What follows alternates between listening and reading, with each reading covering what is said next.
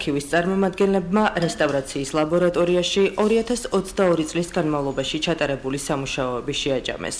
აღსანიშნავია, რომ რესტავრაცია საარქივო დოკუმენტების 18700-ზე მეტ ფურცელს, 12 აფიშას, 220 გაზეთს, ორ ფოტოალბომსა და 90-მდე ტექნიკურ დიდფორმატიან ნახაზს ჩაუტარდა. რესტავრატორებმა საისტორიო, უახლესი ისტორიისა და კინოფოტოფონო დოკუმენტების ცენტრალურ არქივებში დაცულ მასალაზე იმუშავეს. მათ შორის არის ისტორიული საბუთები, სასულიერო კრებული წმინდანთა ცხოვრებისა და დღესასწაულთა მოკლე აღწერილობა მე-17 საუკუნის სვინაქსარი, ხატრული ფილმების აფიშები, რიუნჰესის მშენებლობის ფოტოები, გაზეთები მხედარი და სახალხო საქმე. გარდა ამისა, 2022 წელს ეროვნული არქივის რესტავრატორებმა მუშაობა დაიწყეს მე-12-13 საუკუნეების ქურაშის 4-თავზე რომელიც ეტრატზეა შესრულებული და პალიმფსესტურ ფურცლებს შეიცავს. მე-17 საუკუნის სფინაქსარის სამუშაოებიც ამ დრომდე გრძელდება. როგორც ეროვნული არქივის დოკუმენტების რესტავრაციის ლაბორატორიის ხელმძღვანელი თამილა აფაკიძე განმარტავს, აღნიშნული პროცესი გრძელდება და ამ დროისთვის სხვადასხვა დოკუმენტის აღდგენა მიმდინარეობს. 2022 წლის განმავლობაში ეროვნული არქივის დოკუმენტების რესტავრაციის ლაბორატორიაში მოხდა უამრავი საინტერესო და უნიკალური დოკუმენტების რესტავრაცია აღდგენა. ჩვენს დოკუმენტებს შორის არის როგორც უნიკალური ხელნაწერი წიგნები, საეკლესიო ჩანაწერები თუ რარიტეტული წიგნები, ასევე დიდ ფორმატზე შესრულებული დოკუმენტები, როგორიცაა კინო აფიშები, ტექნიკური პროექტები, ფოტოალბომები, ფოტოსურათები და სხვა უამრავი საინტერესო მასალა. ლაბორატორიაში სარესტავრაციო ჩემოვიდა მე-17 საუკუნის იგნის სვინაქსარი რომელიც მე-20 საუკუნეში იყო რესტავრირებული აგერ ხედავთ. შემდეგ მეცნიერება როდესაც შეისწავლეს ეს ციგნი, შეიქმნა დასაშლელი და გადასაადგილებელი რამოდენიმე ფურცელი. შესაბამისად, უნდა მოხდეს ახლა ამ ციგნის აკინძვა თავიდან და თავისივე ყდაში ჩასმა. ეს საკმაოდ შრომატევადი საქმე იქნება, იმიტომ რომ თავისივე ყდაში უნდა მოხდეს ამის ჩასმა და შეიკეროს სათრთაო გვერდი როგორც წესი და რიგია. ახლა მუშაობთ მაჩის საქმეზე, რომელიც სხვადასხვა რაიონებიდან გადმოგვეცემა ხოლმე. ეს კონკრეტული საქმე არის საკმაოდ დაზიანებული, აღენიშნებოდა ობის და წყლის კვალი, რომელიც გამოხატულია ლაქებით. თავდაპირველად მოხდა დოკუმენტის მშრალი წესით გაწმენდა, შემდეგ სველი წესით გაწმენდა და ახლა დაზიანებულ უბნებს შესაბამის არესტავრაციო მასალით ვავსებთ. და ვცდილობთ რომ აღვადგინოთ მისი მთლიანობა ისე რომ არ ჩავერიოთ უხეშად და ზედმეტად არ დავაზიანოთ ისედაც დაზიანებული დოკუმენტი. ეს გახლავთ 1921 წლის სააქტო ჩანაწერი წიგნი, როგორც ხედავთ, ძალიან არის დაზიანებული, დანაწევრებული არის ფურცლები.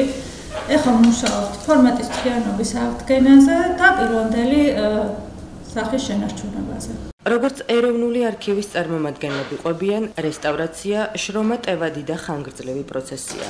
სამუშაოების დაწყებამდე თითოეულ დოკუმენტთან დაკავშირებით დგება გეგმა, რომლითაც ყველაფერი წინასწარ განისაზღვრება. სარესტავრაციო სამუშაოების შემდეგ კი დოკუმენტს პირვანდელი სახე უბრუნდება.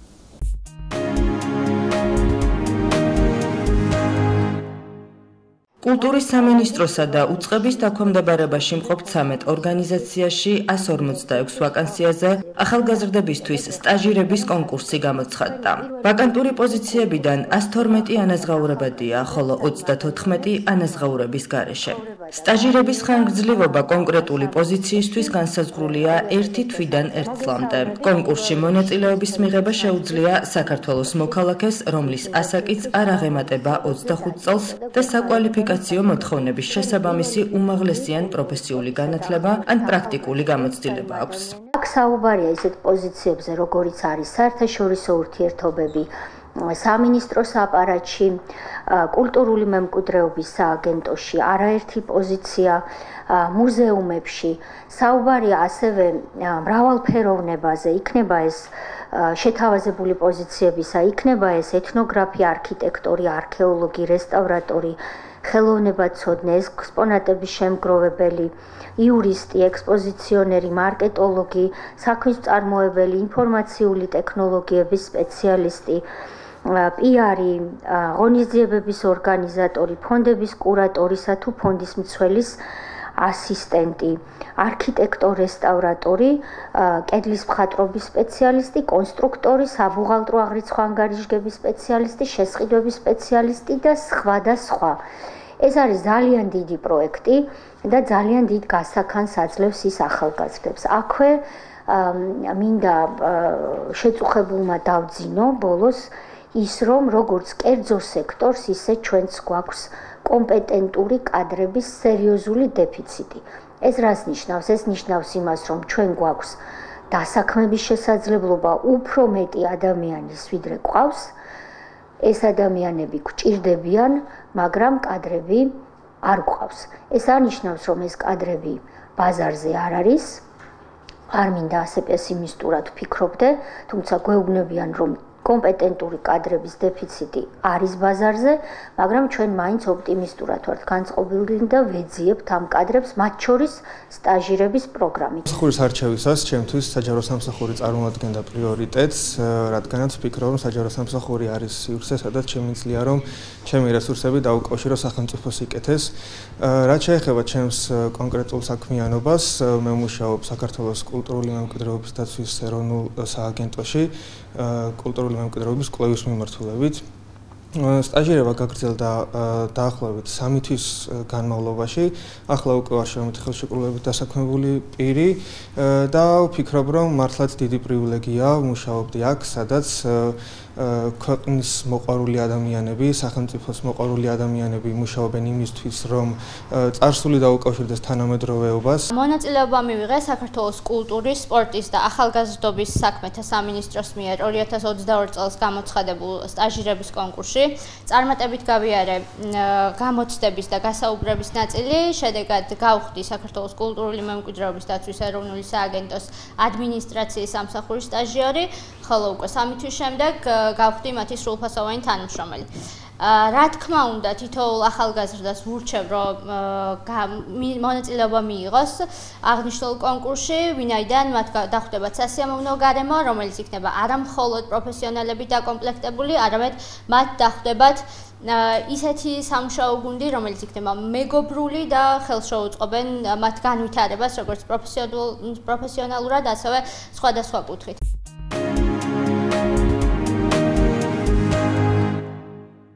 ინგლისში კონძულ ლინდისფარნის ავტოსადგომზე მშენებლებმა უნიკალური არტეფაქტები აღმოაჩინეს. აქ დაფიქსირდა 7 საფლავი, რომელიც შუა საუკუნეებით თარიღდება. აღნიშნულ ინფორმაციას Ancient Origins იავრცელებს. კრანკლაივის ცნობით, საფლავები ნორთანბერლენდის საგრაფოს საბჭოს არქეოლოგებმა ახალ წლამდე ცოტახნით ადრე წყლის მილის გაყვანის სამუშაოების დროს აღმოაჩინეს. სპეციალისტთა ჯგუფი თვლის, რომ ამ ტიპის სამარხები აღნიშნულ ტერიტორიაზე კიდევ შეიძლება დაფიქსირდეს. ნაგებობების ნაშთები ჯერ ზუსტად არ არის დათარიღებული, თუმცა ვარაუდობენ, რომ შუა საუკუნეების ან შესაძლოა ადრეული შუა საუკუნეებისაც კი იყოს. ლინდის ფანს წმინდა კონძულსაც უწოდებენ და მას აქვს მდიდარი ისტორია, რომელიც 624 წელს ირლანდიელი ბერის წმინდა ეიდანის მიერ დაარსებულ მონასტერთან არის დაკავშირებული. კონძულზე ასევე ცხოვრობდა ნორთანბერლენდის მფარველი წმინდა კუდბერტი, რომელიც მონასტრის წინამძღვარი და მოგვიანებით ლინდის ფარნის ეპისკოპოსი გახდა. თავდაპირველად აღნიშნულ ტერიტორიას მართავდნენ ანგლები და ვიკინგები, რომელთაც დასახლებებსა და საზღვაო ვაჭრობაზე თავიანთი კვალი დატოვეს. თუმცა კიდევ უფრო დიდი გავლენა იქონიეს ნორმანებმა, რომელთაც ეს ტერიტორია მე-11 საუკუნეში დაიპყრეს. მათ ააგეს ისეთი შთამბეჭდავი ციხე-სიმაგრეები და ქალაქები, როგორიცაა საკულტო ბამბურგის ციხე-სიმაგრე, რომელიც ძალაუფლების მთავარი ცენტრი იყო. შუა საუკუნეების პერიოდში ასევე დაიწყო გავლენიანი პერსის ოჯახის აღზევება, რომელიც ნორთამბერლენდს რამდენიმე საუკუნის განმავლობაში აკონტროლებდა. მათ აღმართეს ისეთი დიდებული ნაგებობა, როგორიცაა ალმეკი, რომელიც ჯერ კიდევ ყველაზე დასახლებული მეორე ციხე-სიმაგრეა ინგლისში. რელიგიამ მნიშვნელოვანი როლი შეასრულა შუა საუკუნეების ნორთამბერლენდის ისტორიაში. ლინდის ფარნის მონასტერთან ერთად, რომელიც წმინდა ეიდანმა დაარსა, აქ მდებარეობს ტაიმუტის მონასტერი, რომელიც შუა საუკუნეების ერთ-ერთი ყველაზე ძლიერი სავანე იყო. აქ წარიმართა არაერთი ბრძოლაც, რომელმაც ადგილობრივი მოსახლეობის ბედი განსაზღვრა. BBC-ს ცნობით, საგრაფოს საბჭოს არქეოლოგმა ნიკ ბესტმა ზემოთ ხსენებულ აღმოჩენებზე საუბრისას განაცხადა, რომ ეს არის ძალიან საინტერესო ნაშთები და მათგან სპეციალისტები რადიოკარბონული მონაცემების მიღებას შეძლებენ. აღნიშნული ინფორმაცია კი არქეოლოგებსა და ისტორიკოსებს ლინდის ფარნის დიდებულ წარსულში მეტად ჩახედვის საშუალებას მისცემს.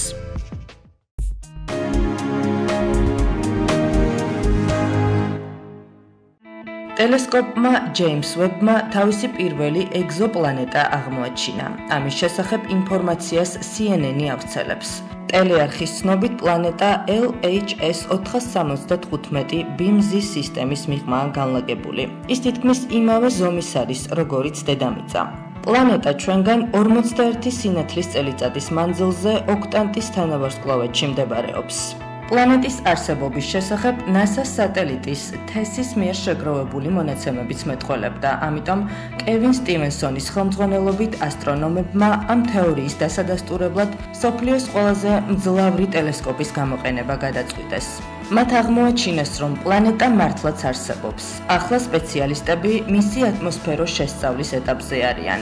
ჯეიმს ვები ერთადერთი ტელესკოპია, რომელსაც დედამიწის ზომის პლანეტების ატმოსფეროს შესწავლა შეუძლია.